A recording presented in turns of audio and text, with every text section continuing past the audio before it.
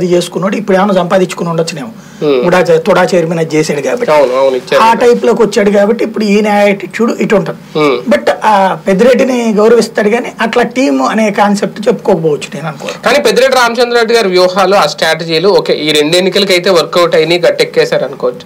రేపు సార్వత్రిక ఎన్నికల్లో కూడా ఇదే వ్యూహం సక్సెస్ అవుతుందా? చేయాల్సిన పరిస్థితి అప్పుడు కూడా ఉంటుందా? భారతీయ జనతా పార్టీ వైఎస్ఆర్ కాంగ్రెస్ పార్టీల మధ్య సంబంధాన్ని బట్టి ఆధారపడి ఉంటుంది. ఎట్లా అంటే ఇప్పుడు వై వైసీపీని తొక్కాలనుకున్నారు అనుకోండి ఇప్పుడు కిందసారి తెలుగుదేశం డామినేటెడ్గానే వెళ్ళింది. చివరిలో ఎక్కడ దెబ్బతింది ఎలక్షన్ కమిషన్ తన డ్యూటీ తను చేసింది అంతే. వెరీ సింపుల్ తన డ్యూటీ తను చేస్తే ఇట్లాంటివన్నీ నడవు ఇప్పుడు రేపు పొద్దున ఎలక్షన్ కమిషన్ తన డ్యూటీ తను చేసింది అనుకోండి గెలవడం కష్టం వీళ్ళు. ఇబ్బంది అయిపోద్ది. చిన్న ఎగ్జాంపుల్ రెండు వేల తొమ్మిది అని. చిరంజీవి పోటీ చేసే టైంలో. కాంగ్రెసే పవర్లో ఉంది. మొత్తం నియోజకవర్గం అంతా కూడా పోలీస్ అధికారులందరూ కూడా ఉమ్, సేమ్ క్యాస్ట్ పెట్టుకొచ్చారు. పైనుంచి కింద దాకా. మొత్తం కంప్లీట్గా డామినేటెడ్ తెచ్చుకొచ్చారు. చివరికి ఏ స్థాయిలో పెట్టారంటే పాపం చంద్రబాబు గారు మొట్టమొదటిసారి ఆయన మిత్రుడని నమ్మి. ఆ శంకర్ రెడ్డి ఉమ్, ఆయనకి టికెట్ ఇచ్చారు. ఆయన మిత్రుడు క్లాస్మేట్. ఈయన మిత్రుల్ని బంధువులు పట్టించుకోవడం తిడతారు కదా అందరూ. అందుకని ఆ ట్రిప్ మాత్రం ప్రత్యేకించి మిత్రుడికి పిలిచి టికెట్ ఇచ్చాడు. అంతకుముందు మున్సిపల్ చైర్మన్గా చేశాడు ఆయన శంకర్ రెడ్డి. ఇస్తే అదే శంకర్ రెడ్డికి ఏదో కొన్ని ఫైనాన్షియల్ ప్రాబ్లమ్స్ అయి ఉన్నాయి. ఓ లంసమ్ డామినేట్ క్లియర్ చెప్పేసేసి ఆయనకి.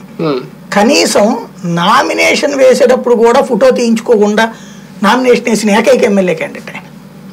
నామినేషన్ వేసేటప్పుడు ఎంత సంబడిగా సౌందర్యంగా చేస్తారో తెలుసు కదా? నామినేషన్ వేసేదాన్ని కూడా ఫోటో కూడా తీసుకోకుండా సింపుల్గా సింపుల్గా.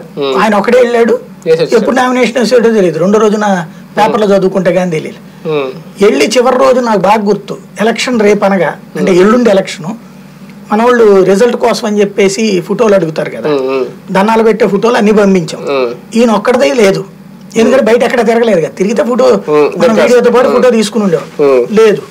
కెమెరామెన్ పంపించి ఒక్క ఫోటో కోసం అన్న కొంచెం మీ ఆయన పెద్ద పదో పన్నెండో పోర్షన్లు ఉన్న ఇల్లు అనమాట ఆ మిగతా వీళ్ళ దగ్గరకు ఒకసారి నా దండం పెట్టండి అన్న అంటే సమస్య లేదు. అన్నాడు. అప్పుడు నేను కనుక్కుంటే నేను అసలు కూర్చుంటే నలభై వేల ఓట్లు వచ్చేస్తాయి నాకు ఆటోమేటిక్గా ఉమ్, ఇది అక్కడతో అర్థమైపోయింది నాకు. అంటే కరెక్టేనండి ఊరికినే అసలు మీరు ఒక్కరోజు ప్రచారం చేయలేదు ఏంటని.